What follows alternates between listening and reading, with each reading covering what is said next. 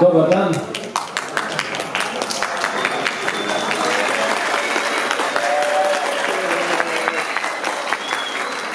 Dobrodošli u kulturno-obrazovni centar Bogatić. Ja sam ovdje da vas malo uvedem u današnju tribinu. Ovdje e, je naš sugrađan, gospodin Slobodan Brkić, koji će vam održati jedno lepo predavanje. Molim vas da ga saslušate sa pažnjom i da vam se zahvalim još jednom u ime svih organizatora što ste došli u tolikom broju i uživajte i nadam se da ćete nešto naučiti iz ovog predavanja. Hvala. Pre svega, drago mi da sam ponovo ovdje, da mogu da držim ovu tribinu, ovo predavanje. Suština ovog predavanja je kako uspjeti u životu duhovnim i intelektualnim napredovanjem. To znači da mladi nauče da iako je ovo 21. vek, iako ima dosta negativnih stvari, da se sve može kad se hoće, bez obzira na bilo kakve poteškoće, bilo kakav fizički ili bilo koji drugi nedostatak. Pomaže vam Bog. Pre svega, drago mi je što ću konačno držati jedno predavanje ili tribinu i mlađim generacijama. Nemam ništa protiv starijih generacija, da se ne lažemo naravno, ali na mlađima sve ostaje. Neki od njih su, pošto sam ovdje bio pre nekih 9-10 godina otprilike, zapravo ne ovdje, nego u Mačanskoj srednjoj školi, ali dobro. I sjećam se dobro, moj prijatelj Nikola Milošević bio je tad veroučitelj i organizacija je bila malo drugačija. Zapravo sam na času veronauke na, eh, od ujutro do posle podne, svaki čas sam sedeo i držao predavanja, odjeljenja su se smenjivalo. Što bi rekli ljudi, makar sam ku Biblija, 35. godina. Ali ja volim da kažem da osjećam kao imam 535 godina, vjerojatno zbog informacija kojima non stop puni mozak i volim da kažem ja sam rođen star, malo mi je teško pao. Tačno je da je ovo 21. vek, tačno da smo u dobu tehnologije, ne treba otići ni u drugu krajnost da budemo mrzitelji tehnologije, pošto neki i to vole, kaže, neću koristiti tehnologiju, jesmo da me prate. Ako pratit ćete i ovako i onako, ako hoće da te prate. Ali treba da tehnologija služi nama, a ne da mi služimo tehnologiji. Tako da ako je korisno i za nas i za druge, zašto da ne? S druge strane, treba da se vratimo nekim pravim moralnim vrednostima koje su danas, nažalost, anahrone. Ljudi o njima prave viceve. A, a to su pravda, istina, čast, moralne vrednosti i naravno se vratimo Bogu i veri, jer to je i za nas kad odemo sa ovog sveta neće ostati ni bogatstvo, ni bilo šta drugo, neko će drugi živjeti do nekih sto godina, recimo, od našeg upokojenja, nego će drugi živjeti u toj našoj kući, ako je uopšte bude i bilo, neko će drugi voziti auto, ako ga bude i bilo i tako dalje. Ali jedino što ostaje za nas su naša dela ili ne dela, zavisi od toga šta smo uradili. Ako nismo ništa uradili, onda će biti kao da nas nije ni bilo. E sad, mnogi pitaju kako je to moguće da, da se prevode ljudi u pravoslavlje, pa spontano. Naprimjer, pričam s Japancima i sad krećemo mi, njegov engleski naravno nula, onda pričamo na japanskom. I sad on počne priča o životu kako ništa ne valja, fokusira se na one negativne strane i kada je 今日の大救済私はプレゼントです。これは皆さん。Što znači u prevodu ništa ne valja i treba kukati. Kažem, ako znaš šta ovo je, hoćeš da kukaš, pozoveš dve, tri profesionalne narikače, one znaju sve i ono crni sine i sivi tiču i molim lepo, nema meni da kuka, znači život je jedan i ima i negativne stvari, ali treba se fokusirati na ono što je dobro. E, nema ništa gore kad mladi kukaju, a kad stariji kukaju, ok, šta da se radi?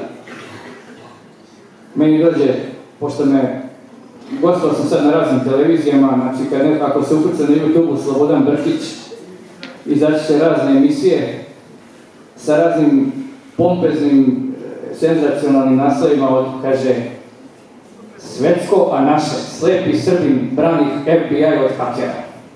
Ajde! A onda tu idu komentari. Ja se trudim da odgovorim na svaki. na Facebooku sam u posljednjih deset dana imao preko hiljadu i pol zahtjeva za prijateljstvo, ja sam svakome govorio. Ne dozvolite da vas neko iznervira svojim negativnim komentarima ili djelovanjem, nego radite ono što smatrate za shodno. Ne trudite se, omladina voli da se trudi da kopira jedne druge, sad da ja budem in, da ja budem faca. Pa bit će faca mjesec dana ovdje, tri mjeseca. Ali će onda neko nešto da izmisli, znači šta god da radite, naći će se neko ko vas podržava i naći će se neko ko vas napada. Zato se ne treba obazirati na to šta kaže svijet i šta ko misli, nego da se obaziramo na ono što mi radimo i da to što radimo, radimo najbolje kako možemo i koliko možemo, a šta će drugi da kažu, to je apsolutno njihova sloboda. E sad dolazimo do ateista, ovih e, tvrdokorni koji ne veruju u Boga. Sad, kako s njima? Pitaju mi ljudi kako njih prevodimo pravoslov. A ja. Pričam s čovjekom i on kaže, a ne, hvala Bogu, ja sam ateista. Čekaj, čekaj. Hvala Bogu, pa što hvala Bogu, što ne onda hvala dolaru ili ne znam, hvala nauci, hvala milom meni, ili tako nešto, što, što govoriš hvala Bogu. Ma to je uzrečica, rekao dobro. E sad, ja njemu kažem, znaš šta, ti ipak veruješ u Boga. Zato što ti opet malo, malo pa spomeneš Boga. Tako da, evo, ako mi za u narednih minut ne spomeneš Boga na bilo koji način, ja se predajem i nećemo dalje pričati o tome. A ako spomeneš Boga, vodim te na vino i tu nastavljamo dalje konverzaciju. Ali ja ipak smatram da si ti vernik duboko u sebi. Bože sačuvaj! I naravno, išli smo na vino i posle tri po sata razgovora i on je shvatio da je na kraju ipak vernik, ali to je bilo duboko u njemu. E, ja sam recimo španski, italijanski, te jezike učio za nešto prilike mjesec dana. Učio sam potki 10.000 reči dnevno. A kako? Pa jednostavno. Čujem, ponovim, zapamtim.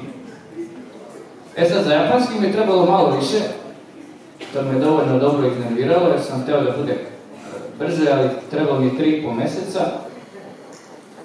jer je japanski totalno drugačiji. E sad, pošto ja držim ljudima časove svih jezika, sinac sam imao jednog e, Japanca od 104 godine, hoće da uči srpski, šta ćemo srpski u 104 godine, ne znam, ali Mošterija je uvijek u pravu. I isto me to pitao kako. Ja sam otkrio četiri koraka pomoću kojih učim jezike. Korak broj jedan je slušanje MP3 ili audio lekcija, kursa, kako bi se izgradio vokabular. Kako to zvuči? Pa ja, recimo uzimo srpsko-japanski, na primjer. I se kaže, lekcija broj jedan, pozdrav, slušajte i ponavljajte. Kite, kotajte ga sajte. I sad on ne kreće. Hoću da idem u kupovinu. Pi, ono je, kaj ima na njih, sam. Ono kaže, boli me glava, ono je, a tamo ga je taj. I tako da. To je korak. Kad se izgradi vokabular, onda drugi korak pričanje s ljudima. Online, offline je bitno. Tako je meni FBI provalio, jer sam ovaj, kako preko interneta da bi besplatno zvao bilo koji telefonski broj u svijetu, recimo 15 godina. I onda su mi dali ponudu koju nisam mogu da odbijem. Ja se raspričao zvao, jer sam razvao japanske broje onako na sumice. Sad možete zamisliti, pošto ja nisam znao ni koliko je sati u Japanu. Ja nazovem neki japanski broj onako na sumice i kod njih je recimo tri ujutru. Sad javi se neki stariji čovjek ili neka baka, ja kažem, ve, ja sam taj i taj u Srbiji, sam ja vežbam japanski, ali možemo da pričam. Sad, naravno, to je bilo raznih reakcija. Svećaš da Japanci nisu toliko lajavi kao mi, pa ne psuje mnogo, nego samo kažu, uh, i prekinu reč. Ali bilo je oni drugi, koji zvuče kao u animama. Bio je što je, kad je počeo se dere na mene, meni ispod telefon. Ja sam mislio da, je da čovjek obavlja veliku nuždu, kaže, Možda znači đavo da te nosi. Mislim, ja sam razumeo njega, jer je kod njih bilo četiri uvijek.